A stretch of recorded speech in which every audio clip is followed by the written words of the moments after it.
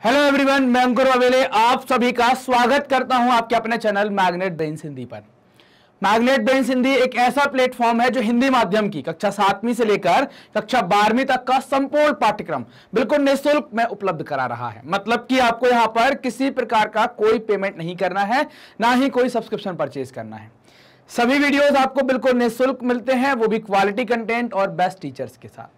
तो बात करेंगे कि इस वीडियो के माध्यम से हम क्या पढ़ने वाले हैं। तो हमारा आज का जो टॉपिक होगा, वो है सऊदी अरब में नागरिक अधिकार। मतलब हमने जो अभी पिछले वीडियो के अंदर पढ़ा था, जिसमें हमने देखा था कि अधिकारों के बिना जीवन फिर हमने अधिकारों के बिना जीवन के बाद ग्वांतानामो बे की जेल का भी ज़िक्र किया था। उसी कड़ी में हम आगे बढ़ रहे हैं। अधिकारों के बिना जीवन में हम अब एक देश को देखने वाले हैं। अभी तक हमने क्या देखा था? ग्वांतानामो बे की एक जेल के बारे में ज़िक्र किया था। अब हम एक पूरे देश के बारे में बात करेंगे मतलब कि सऊदी अरब में नागरिक अधिकार के बारे में हम बात करने वाले हैं। ये टॉपिक है कक्षा नौवीं की राजनीति विज्ञान के चैप्टर नंबर पाँच, यानी कि लोकतांत्रिक अधिकार का। तो चलते हैं आगे और देखते हैं कि सऊदी अरब में नागरिक अधिकार से मतलब क्या है, कैसी बात ये कर रहे हैं। पिछले वीडियो में हमने ग्वांतानामो बे का ज़िक्र किया था आप जानते हैं और इसको हमने एक अपवाद की कैटेगरी में रखा है। अपवाद क्यों रखा है? क्योंकि ग्वांतानामो बे आपको पता होगा कनाडा के ओ, क्यूबा के अंदर है ना? क्यूबा था ना ऐसा ऐसा कुछ आपने देखा था? क्यूबा के अंदर यहाँ पर एक ग्वांतानामो करके एक जगह है उसी के पास एक खाड़ी है और इस पर कब्जा किसका था? यहाँ पर इस ग्वांतानामो पर यूएसए का कब्जा था और यहाँ पर यूएसए की आर्मी ने कुछ छह सौ लोगों को जेल में डाला हुआ था। मतलब संख्या में बात करें तो काफ़ी कम लोग थे, अगर हम देश से तुलना करते हैं सऊदी अरब से तुलना करने वाले तो 600 लोगों पर यहाँ पर जेल में डाला था और उनके साथ अत्याचार किया गया था, है ना? तो यहाँ पर व्यवस्था क्या थी कि 600 लोग कौन थे? अलग अलग देशों के नागरिक थे, जिन्हें उठाकर जेल में डाला गया था सक्यधार पर, या उनका कोई कनेक्शन था, जो अमेरिका के अंदर हमला हुआ था उससे। तो यहाँ पर क्या है? हम बात करें एक देश की सरकार, एक देश की सरकार दूसरे देशों के नागरिकों का उल्लंघन कर रही है। मतलब अमेरिका की सरकार या अमेरिका की फौज ने पकड़कर उसको कहाँ डाला? जेल में डाला। तो अमेरिका की सरकार किसका उल्लंघन कर रही है? दूसरे देश के नागरिकों का, जो नागरिकों के जो अधिकार है उनका उल्लंघन कर रही है। ये वाली बात क्लियर थी यहाँ पर जो हमने पहले बात करी थी। अब हमारा जो हम यहाँ बात करने वाले हैं सऊदी अरब के बारे में। तो सबसे पहले आप देख लो, सऊदी अरब होता क्या है? कहाँ पर है? तो एक देश है, ये आपको पता होगा, अरब प्रायद्वीप का एक हिस्सा है। हम अभी एक एक मैप पर एक एक बात कर लेंगे। सऊदी अरब में हम ये बात करेंगे कि सरकार अपने नागरिकों को कितनी आज़ादी यहाँ पर देती है। मतलब अमेरिका में तो लोगों को आज़ादी है, सिर्फ़ समस्या कहाँ थी? ग्वांतानामो बे जेल के अंतर्गत थी, क्योंकि जेल में जो लोग थे, वो क्या थे? उनका संबंध हमले से था तो इस कारण से उनके साथ दिक्कत थी। सऊदी अरब में पूरे नागरिक शामिल होंगे तो मतलब यहाँ पर हम बात करेंगे कि यहाँ के नागरिकों के साथ या नागरिकों को सरकार किस प्रकार की आज़ादी देती है। अब बात करेंगे सऊदी अरब कहाँ है। तो सऊदी अरब का नक्शा आप देख पा रहे हैं तो ये है सऊदी अरब ना। ये वाला जो पीला पीला इलाका दिख रहा है, ये सऊदी अरब है।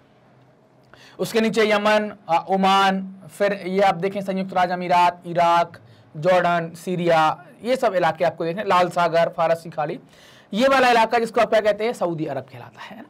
सऊदी अरब को थोड़ा सा और हम मैप को थोड़ा सा और पास करते हैं तो पाते हैं कि सऊदी अरब भारत के पश्चिम में है। ये भारत है, आप देख पा रहे होंगे। भारत के पश्चिम की साइड डायरेक्शन निकाल लेते ना, ऐसे ही निकालते ना ऊपर वाली नॉर्थ नीचे वाली साउथ दाएँ हाथ की तरफ़ ईस्ट और बाएँ हाथ की तरफ़ वेस्ट मतलब ये क्या है? पश्चिम में है। तो ये आप देख पा रहे हैं, ये पश्चिम में है यहाँ पर तो ये ये वाले देश के बारे में हम बात कर रहे हैं, ये सऊदी अरब के बारे में बात कर रहे हैं। अब क्या बात हम करने वाले हैं, क्या देखने वाले हैं? मतलब कि हम जो अधिकारों के बारे में यहाँ पर बात कर रहे हैं तो आप यहाँ पर देखिए सबसे पहले यहाँ पर देखिए। यहाँ पर जो देश पर शासन चलता है, सऊदी अरब में जो शासन चलता है, वो कैसा? एक वंश का है। मतलब यहाँ पर जो इनका जो देश का प्रमुख होगा, है ना? देश का प्रमुख होगा वो हमेशा कहाँ से होगा? वो हमेशा एक परिवार का ही होगा। एक ही परिवार का होगा। बार बार उसी परिवार का आएगा। मान लीजिए कि इस परिवार के कोई एक आर नाम का व्यक्ति बन गया था तो फिर इसका लड़का जैसे मान लेते हैं, अपन क्या, ऐसा ना लिख के अपन क्या कर देते हैं? मान लीजिए कि अभी कोई बना है तो यहाँ पर एक कोई व्यक्ति बन गए हैं। किसी के दादाजी बने हैं तो इनका फिर लड़का आएगा तो उसको आप पापा कह सकते हैं। अगर अपन अपनी कैटेगरी में, फिर क्या कह सकते हैं? हम। अगर हम अपने आप को रख लेते हैं, मानना नहीं, अगर हम अपने आप को वहाँ की रॉयल फैमिली में या वहाँ के शाही परिवार में शामिल कर लेते हैं तो मान लीजिए कि अभी हम वहाँ के, हम मतलब आप लोग भी मानना, मेरा मत मान लेना कि सर शासक है ना? तो आप भी अपना मानना अपन रख के देखते हैं कि अगर आप अभी वहाँ के शासक हैं तो आपके पहले आपके पापा या चाचा रहे होंगे, उनके पहले आपके दादाजी रहे होंगे, दादाजी के पहले उनके पिताजी रहे होंगे। मतलब एक ही परिवार का व्यक्ति क्या होता है यहाँ पर? देश का प्रमुख होता है, एक ही वंश का व्यक्ति आता है। तो जो देश का प्रमुख आता है, उसको क्या कहते हैं वहाँ पर? सऊदी अरब में शाह कहा जाता है और हमारे यहाँ पर क्या कहा जाता है? राजा। सऊदी अरब में क्या कहलाता है उसको शाह कहते हैं, हमारे यहाँ पर राजा। जबकि चीज़ दोनों एक ही सी है, राजा या शाह को चुनने या बदलने का अधिकार लोगों के पास नहीं होता। मतलब ये लोगों के द्वारा चुना नहीं गया है। कैसे चुना गया है? मतलब ये लोगों के द्वारा चुना नहीं गया है। ये कैसा है? वंशानुगत तरीके से आ गया है। कैसे आ गया है? वंशानुगत तरीके से। मतलब पहले से पता है, जैसे अपने राजाओं में पता था ना कि राजा के बड़े, बड़ा लड़का ही राजा बनेगा, फिर बड़े लड़के का बड़ा लड़का ही राजा बनेगा, फिर उसके बड़े लड़के का बड़ा लड़का ही राजा बनेगा तो ऐसे ही ये अपने आप गद्दी पर आ गए हैं। तो ये जनता के पास चुनने का अधिकार नहीं है, बदलने का अधिकार नहीं है। तो ये बात क्लियर, शासन कौन चलाता है? एक ही वंश का शासन होता है और राजा या शाह को चुनने का अधिकार यहाँ पर किसी को नहीं होता है, ना बदलने का अधिकार होता है। शाह के पास क्या अधिकार होते हैं ना? जो वहाँ का शासक होता है, उसके पास क्या अधिकार होते हैं? वो विधायिका मतलब कि विधायिका जैसे आप देखिए लेजिस्लेचर के बारे में बात करें तो विधायिका, कार्यपालिका जिसको आप एग्जीक्यूटिव कहते हैं तो विधायिका और कार्यपालिका के लोगों का चुनाव करता है मतलब वो इलेक्ट कर लेता है वहाँ से अपने हिसाब से। वो अपने देश में जजों की नियुक्ति करता है, जैसे भारत में सुप्रीम कोर्ट और हाई कोर्ट है, वैसे ही वहाँ पर भी कोई अदालतें होंगी, कोई न्यायालय होंगे तो वहाँ के जजों की नियुक्ति करता है। उसके पास इतनी ताकत है कि अगर जज ने कोई फैसला दे भी दिया है और शाह को या राजा को पसंद नहीं है तो वो फैसलों को पलट भी सकता है, वो उनको बदल भी सकता है। ये पावर उसके पास होती है यहाँ पर। अब आप देखें, यहाँ पर किसी को भी राजनीतिक दल बनाने का अधिकार नहीं होता, संगठन नहीं बना सकते। मीडिया जो है वो शाह की मर्ज़ी के खिलाफ कोई खबर नहीं चला सकती। ये वहाँ पर ऐसा बोला गया है कि आप, अगर राजा की इच्छा नहीं है तो आप कोई खबर नहीं चलाएँगे। लोगों के द्वारा यहाँ पर किसी प्रकार का कोई संगठन नहीं बनाया जाएगा। अब ये बात हो गई तो अब थोड़ा सा ज़िक्र करते हैं कि आप यहाँ पर जैसे ही ये फ़ोटो देखते हैं तो आपको ये दो चीज़ें दिखेंगी। एक तो ये महिलाएँ काले बुरके में और दूसरे आपको एक ये यहाँ के राजकुमार, ये प्रिंस है, उनकी फ़ोटो है। तो आप देख पा रहे हैं कि प्रिंस जो है वो अपना चेहरा ओपन कर सकते हैं। वो तो ये इनका पारंपरिक लिबास है तो इस तरीके से वहाँ के जो मर्द लोग हैं, वो ऐसे ही पहनते हैं। औरतों को कहा गया है कि वो इस तरीके के कपड़े पहनेंगे, ये वहाँ पर कंपलसरी है। अधिकांश जगह पर वहाँ पर कंपलसरी है कि ये बुरका पहनेंगी। हालाँकि भारत में सब जगह आप बुरका देखेंगे लेकिन ये ऑप्शनल है। मतलब ये लोगों की इच्छा के ऊपर है चाहे तो पहन ले ना चाहे तो ना पहने ऐसी कोई दबाव सरकार की तरफ़ से नहीं है। लेकिन वहाँ पर आप महिलाओं की आप, आप, आप फ़ोटो देख पा रहे होंगे तो आप समझ पाएँगे कि यहाँ पर उनको बुरका पहनना मतलब उनकी सिर्फ़ आँख दिख पा रही है। यहाँ पर राजकुमार अपना पूरा चेहरा दिखा रहे हैं। मतलब मर्दों को थोड़ा सा ज़्यादा अधिकार हमें समझ में आ रहे हैं। महिलाओं के पास अधिकार कम है। यहाँ पर हम फ़ोटो से देख पा रहे हैं कि इनको क्या है ये आप देख पाए कि ये सिर्फ़ अपना आँख दिखा पा रही मतलब चेहरा दिखाने का भी अधिकार इनको नहीं है। तो आपको ये समझ में आ रहा होगा कि यहाँ पर समाज में कुछ अंतर तो है, इस फ़ोटो से आप ये समझ गए होंगे कि समाज में महिलाओं को अधिकार कुछ कम होंगे और पुरुषों को अधिकार कुछ ज़्यादा होंगे। ये बात तो यहाँ पर समझ में आ गई होगी। अब जैसे ही हम उस देश के अंदर जाते हैं तो उसकी धार्मिक स्थिति के बारे में बात करते हैं। तो हम देखते हैं कि सऊदी अरब में धर्म की स्थिति क्या है, धार्मिक स्थिति क्या है तो यहाँ पर किसी और धर्म की आज़ादी नहीं है। मतलब आप कोई दूसरे धर्म के हिंदू हैं, सिख हैं, ईसाई हैं, है ना, या पारसी हैं तो आपको वैसे धर्म की आज़ादी नहीं है। वहाँ जो मुसलमान है, वही वहाँ के नागरिक हैं, इनको ही अधिकार हैं। आप सिर्फ़ अपने मुस्लिम धर्म की इस्लाम धर्म की इबादत कर सकते हैं, बाकी दूसरे धर्म की आज़ादी आपको नहीं होती है।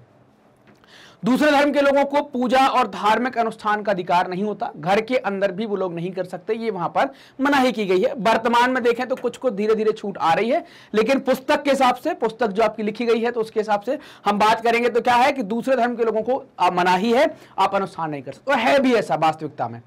कुछ कुछ जगह पर धीरे धीरे छूट आ रही है। समय के हिसाब से चूँकि दुनिया से कनेक्ट करना पड़ेगा तो छूट देनी पड़ेगी, लेकिन आज भी स्थिति ऐसी है कि यहाँ पर कोई धार्मिक आज़ादी नहीं है, सिर्फ़ मुस्लिम या इस्लाम को मानने वालों को आज़ादी है और कोई दूसरे धर्म का व्यक्ति अपनी पूजा पाठ नहीं कर सकता, घर के अंदर भी नहीं कर सकता, चोरी छिपे भी नहीं कर सकता, उसको ये यहाँ पर छूट नहीं दी गई है। अगर ऐसा करता है तो दंडनीय अपराध माना जाएगा।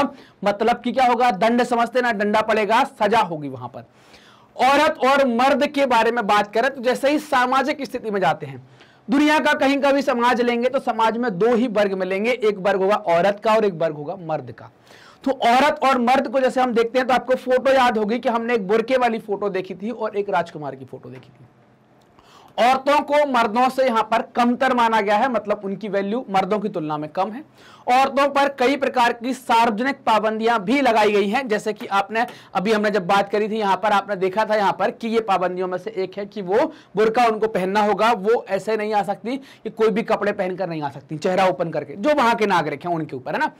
मर्दों को निकाय चुनाव में मताधिकार मिलने वाला है, लेकिन औरत को नहीं। मतलब यहाँ पर हम मत की बात कर रहे हैं। मत के बारे में जब बात कर रहे हैं तो अगर हम अपने देश से बात करें तो पुरुष और महिला दोनों को दिया गया है। लेकिन जब सऊदी की बात करते हैं तो वहाँ पर दोनों को अधिकार नहीं दिया गया है। सिर्फ़ अभी तो किसी के पास नहीं था ये चुनने का अधिकार किसके पास था? शाह के पास था कि वो विधायिका चुनेगा वो कार्यपालिका चुनेगा वो जजों की नियुक्ति करेगा। अब क्या हो गया? वहाँ के जो स्थानीय निकाय हैं निकाय चुनाव जो होंगे उनमें मर्दों को वोट देने का अधिकार मिलेगा लेकिन औरतों को यहाँ पर मत का अधिकार नहीं दिया गया है। तो आप ये देख सकते हैं कि इनको ये वाला अधिकार नहीं मिला है। तो आपको यहाँ पर ये बात समझ में आ रही होगी कि समाज में धार्मिक तरीके से भी पाबंदियाँ लगी हुई हैं धार्मिक आज़ादी नहीं है। दूसरा ये कि आप, आप समाज में लिंग के आधार पर भी पाबंदियाँ हैं। पुरुष और आ, महिला के नाम पर महिलाओं को कमतर माना गया है। कुछ कई सारी सार्वजनिक पाबंदियाँ भी उनके ऊपर लगाई गई हैं। अब अगर हम ये बात करें तो सऊदी हमने केवल एक उदाहरण लिया है। आप समझें कि ये सिर्फ़ सऊदी अरब पर ही लागू है तो ऐसा नहीं है। दुनिया के कई सारे ऐसे देश हैं जहाँ पर इस प्रकार की स्थितियाँ हैं। ज़रूरी नहीं है कि वो इस्लामिक देश ही हो, और दूसरे देश भी हैं ऐसे जहाँ पर इस प्रकार की पाबंदियाँ लगी हुई हैं कि समाज में पुरुष और महिला के आधार पर, गरीब और अमीर के आधार पर, ऊँची जाति और नीची जाति के आधार पर, शहर और गाँव के आधार पर पाबंदियाँ वहाँ पर लगाई गई हैं। मतलब कुछ लोगों को अधिकार ज़्यादा, कुछ लोगों को कम। तो आपको यहाँ इस वीडियो में यह समझ में आया होगा कि सऊदी अरब में पूरे नागरिकों के अधिकार सीमित कर दिए। मतलब लोगों के पास अपने राजा को चुनने का अधिकार नहीं है। राजा जो चाहे वो कर सकता है, जनता उसके खिलाफ आवाज़ नहीं उठा सकती। कोई राजनीतिक संगठन नहीं बना सकती, राजा के राजा के खिलाफ कोई आंदोलन नहीं चला सकती। उसके खिलाफ कोई विरोधी प्रचार नहीं कर सकते, मीडिया में भी उसके खिलाफ कोई बात नहीं आ सकती, जब तक राजा की अनुमति ना हो। समाज के अंदर जैसे महिला पुरुष देखा तो इनमें भी बहुत अंतर हमको देखने को आया। तो आपको ये बात समझ में आई कि यहाँ पर भी वो अधिकार नहीं मिले जो हमें मिले हैं। तो ये सऊदी अरब में नागरिक अधिकारों के बारे में हमने बात करी तो यहाँ पर अधिकार कम है और अधिकार कम होने के साथ साथ महिला पुरुष में भी बहुत सारी पाबंदियाँ हैं। महिलाओं पर ज़्यादा पाबंदियाँ हैं, पुरुषों पर थोड़ी सी उनकी तुलना में कम पाबंदियाँ हैं। तो ये बात हमने यहाँ पर कर ली कि भाई सऊदी अरब में नागरिक अधिकारों के ऊपर हमारी चर्चा यहाँ पर हो जाती है। तो आपको समझ में आया होगा कि सऊदी अरब में नागरिक अधिकार कुछ वैसे नहीं मिले जैसे हमको आपको मिले हैं। हम अपने सरकार के खिलाफ कुछ कह सकते हैं कि इसने अच्छा काम नहीं किया, सऊदी अरब में आप ऐसा नहीं कह सकते, आपको अधिकार नहीं दिए गए। हम राजनीतिक संगठन बना सकते हैं, जबकि सऊदी में आप नहीं बना सकते।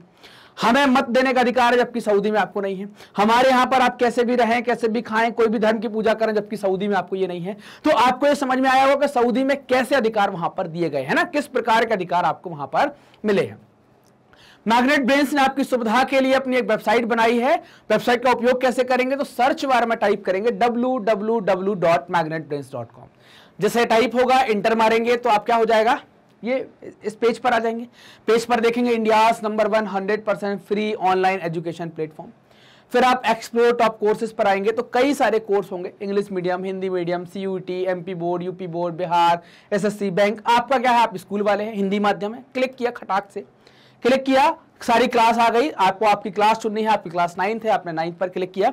जैसे ही आप नाइन्थ पर क्लिक करते हैं, सारे टीचर्स आपके सामने हैं। अब आपको करना क्या है कि पढ़ना कैसे कैसे वीडियो देखें। मान लीजिए, आप राजनीति विज्ञान देख रहे हैं तो आप यहाँ पर वॉच नाव पर क्लिक करें। आपको जो सब्जेक्ट देखना है, उस सब्जेक्ट के नीचे से वॉच नाव लिखा है, उस पर क्लिक कर सकते हैं। तो राजनीति विज्ञान का उदाहरण लिया, यहाँ पर आपने वॉच नाव पर क्लिक किया। क्लिक करते क्या होगा? पॉलिटिकल साइंस यानी कि राजनीति विज्ञान का चैप्टर वाइज प्लेलिस्ट आपके सामने होगा। अब आपका मन है कि यार चैप्टर टू देखते हैं, संविधान निर्माण चैप्टर टू पर क्लिक किया तो इसमें कितने वीडियो हैं? सारे वीडियो ओपन हो जाएँगे। अब उसमें से जो टॉपिक आपको देखना है, उस पर क्लिक करो और वीडियो कुछ इस तरीके से चल जाएगा। पूरा वीडियो देखा, अगले टॉपिक पर जाना है तो तुरंत यहीं से आप नेक्स्ट वीडियो के बटन का उपयोग करें और अगले टॉपिक पर चले जाएँगे, बिना किसी परेशानी के, बिना किसी बाधा के। जैसा कि आप सभी लोग जानते हैं कि मैग्नेट बेंस हिंदी हिंदी माध्यम के विद्यार्थियों के लिए कक्षा सातवीं से लेकर बारहवीं तक का संपूर्ण पाठ्यक्रम बिल्कुल निःशुल्क में उपलब्ध करा रहा है। तो वीडियो कैसे प्राप्त करेंगे? तो कुछ नहीं करना छोटा सा काम है। यूट्यूब पर आ, सर्च करें मैग्नेट बेंस हिंदी और जैसे ही आपको चैनल मिलता है तुरंत सब्सक्राइब करें। वीडियो देख लिया है देख रहे हैं देखने वाले हैं लाइक करें और शेयर करना ना भूलें। सबके साथ शेयर करें सबका भला करें। कमेंट सेक्शन में आप डाउट भी पूछ सकते हैं और आप हमें भी बता सकते हैं कि आपको वीडियोस कैसे लग रहे हैं। धन्यवाद।